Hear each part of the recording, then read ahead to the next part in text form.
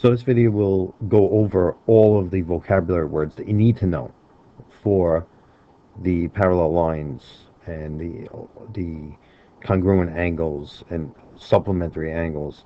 All of these vocabulary words can be very confusing at times and let's go over some of them now.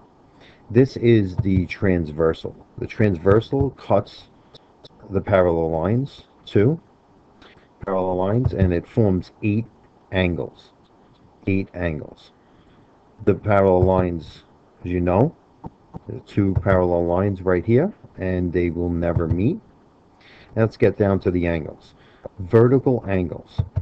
Vertical angles are A and D, B and C, E and H, F and G.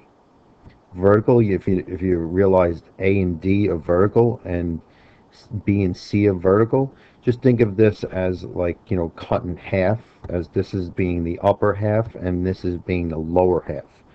Vertical angles are only in each half. So like A to D, you realize that's in the upper half. C to B, they're vertical in the upper half.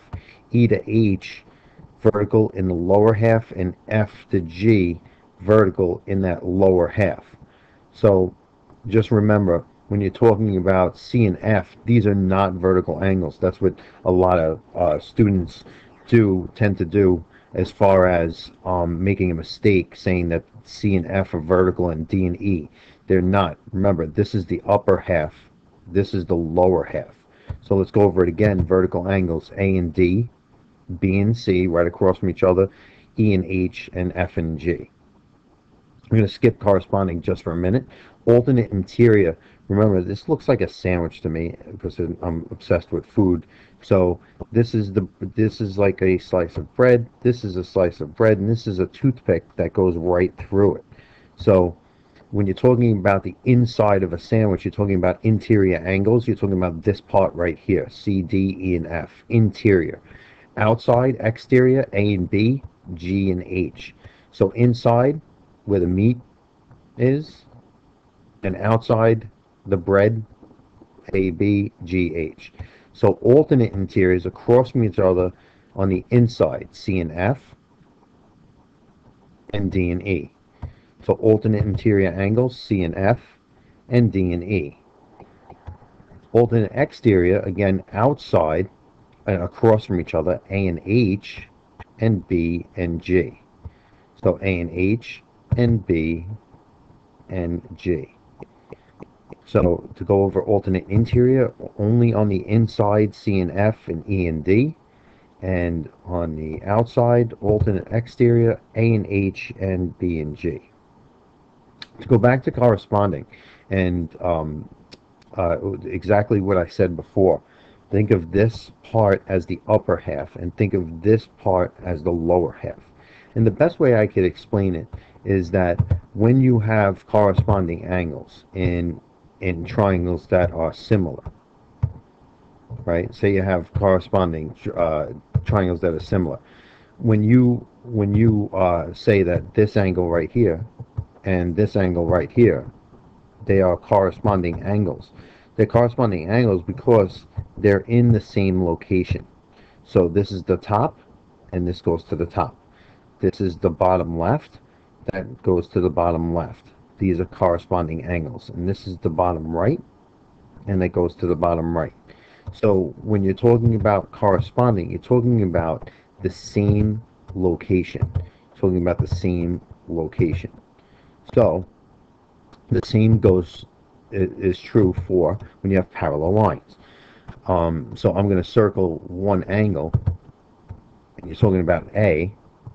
If you circle A, what what angle corresponds to this one in the bottom. So you're talking about A in the upper left and E in the upper left. Sorry about that. Here we go. All right. And so A and E are corresponding because A is in the upper left and so is E in the upper left. When you're talking about the upper left of the up upper part and the upper left of the bottom, they're in the same location.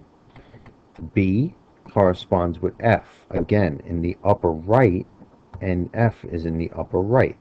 C corresponds with G, or 2G, because this is in the lower left-hand portion of the top, and this is the lower left-hand portion of the bottom. D corresponds with H, this is in the lower right-hand side, and this is in the lower right-hand side. So let's just take a look at them. You have A and E, B and F, C and G, and D and H.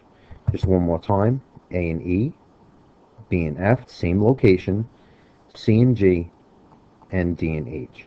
Just to go through them again, the vertical angles, A and D, C and B, And H, G and F. The corresponding in the same location, A and E, B and F, C and G, and D and H.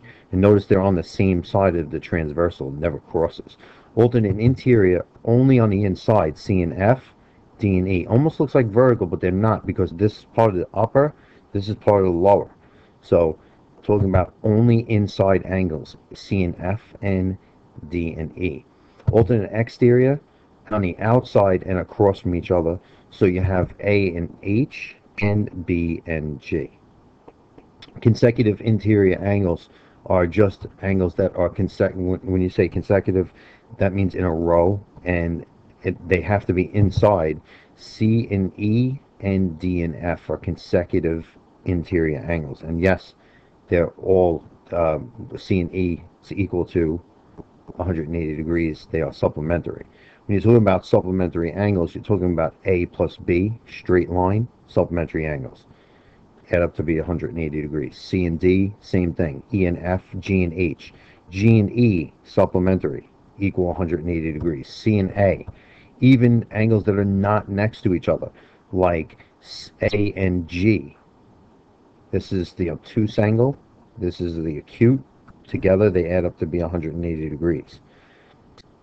So that's a rundown of all the vocabulary you need to know, and I'll see you next time.